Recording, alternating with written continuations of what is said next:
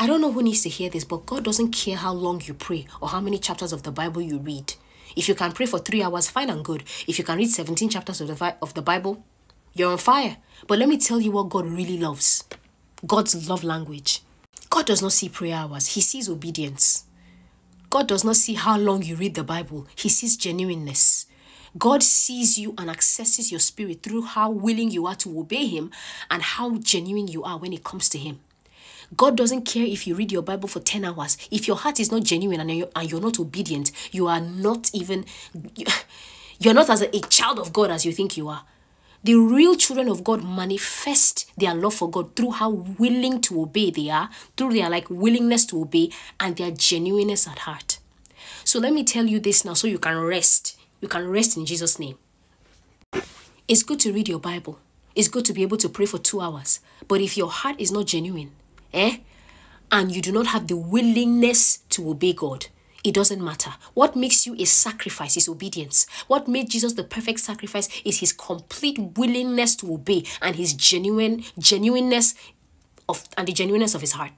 You guys have me stuttering, but I know you understand what I'm trying to say. So, if you want to be a sacrifice, a living sacrifice, you must be willing to obey. You must be willing to obey, and you must be genuine in your heart. It doesn't matter if you pray for three hours. If God has given you the grace, capiche, you're good. But if God hasn't given you the grace, what you need to focus on is obedience and genuineness. Do you understand me? How are you able to be obedient or genuine? Is by following the leadership of the Holy Spirit. Yes, it's by following what the Holy Spirit says what the word of God says. What did the word of God say? Love your neighbor as yourself. First of all, love the Lord your God. Show kindness to your neighbor.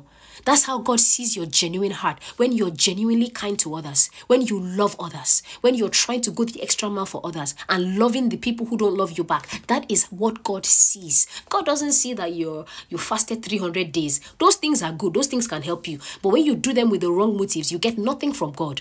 But if you're fasting because of how much you love God or you're fasting about some people or fasting about like the body of Christ and you're and you're more focused on being a good Christian and helping others, that's how you know you're genuine.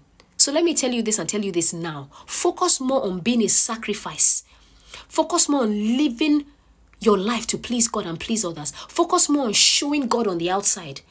Don't tell me that you have to read your Bible for three hours. No, not everybody who reads their Bible for three hours will go to heaven.